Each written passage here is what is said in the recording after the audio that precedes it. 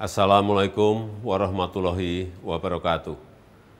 Bapak, Ibu, dan saudara-saudara yang saya hormati, tadi malam saya telah mendapatkan laporan dari Ketua Umum PSSI bahwa FIFA telah memutuskan membatalkan Piala Dunia U20 di Indonesia. Tentunya kita harus menghormati keputusan tersebut saya tahu keputusan ini membuat banyak masyarakat kecewa. Saya pun sama, juga merasakan hal itu, kecewa dan dan uh, sedih. Tapi jangan menghabiskan energi untuk saling menyalahkan satu sama lain.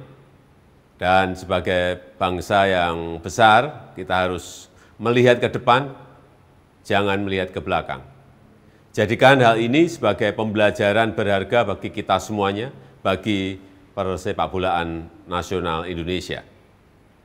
Dan saya telah meminta Ketua Umum PSSI, Bapak Erick Thohir, untuk terus berupaya semaksimal mungkin agar sepak bola Indonesia tidak terkena sanksi, termasuk kesempatan untuk menjadi tuan rumah event-event internasional lainnya.